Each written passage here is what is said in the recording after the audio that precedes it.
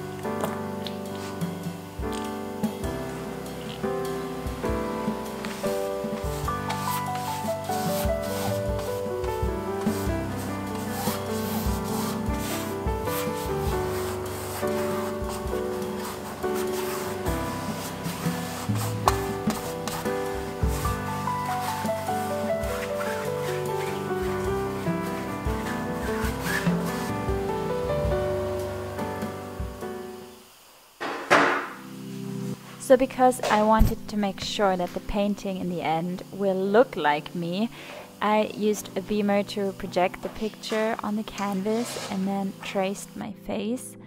I know some people think that's cheating, but I actually have never drawn a face so big, so I had no idea how to get the proportions right. And it's just a form of practice, so you get a feel for this scale. Thank you.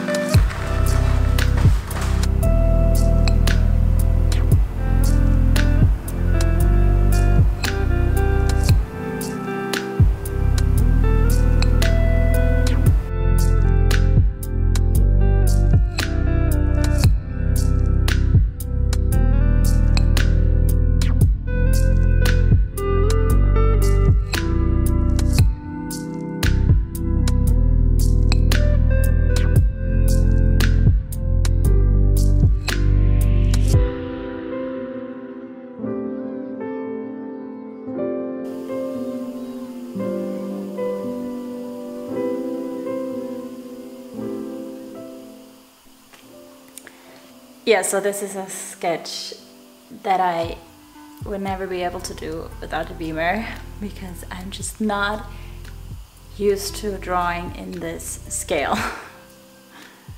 Impossible.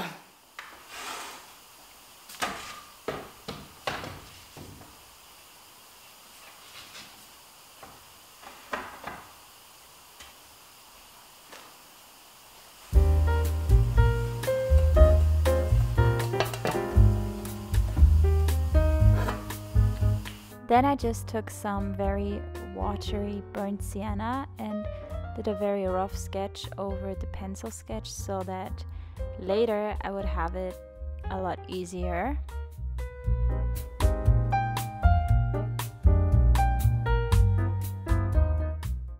So for now I only blocked in some of the shadows and that's all I'm gonna do for today.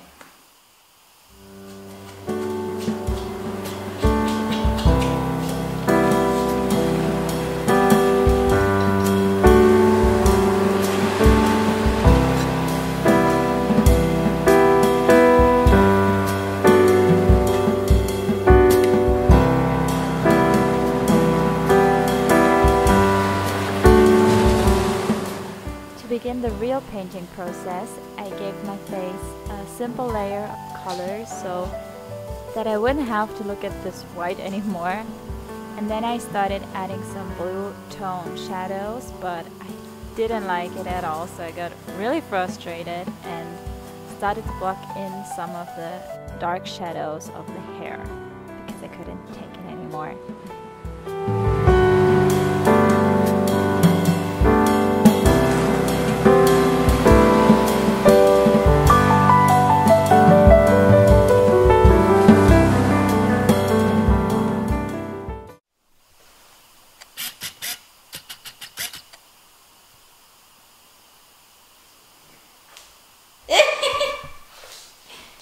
Video.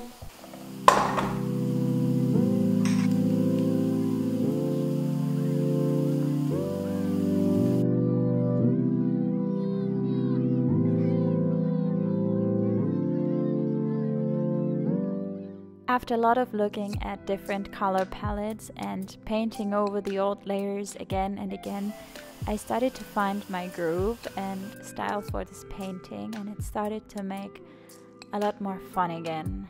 Finally, happily.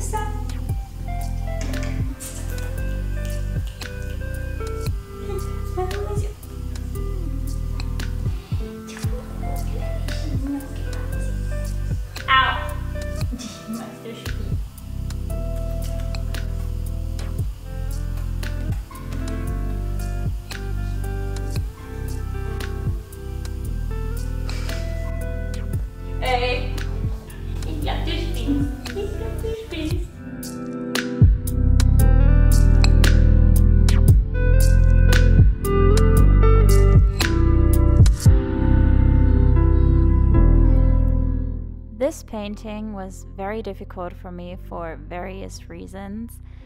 First of all, it was so big. Second, I'm still a beginner with acrylics, and unfortunately, I don't get to paint as much as I'd like. Third, it had to look like me in the end, and I didn't want it to be boring. So I definitely challenged myself and learned a lot from it.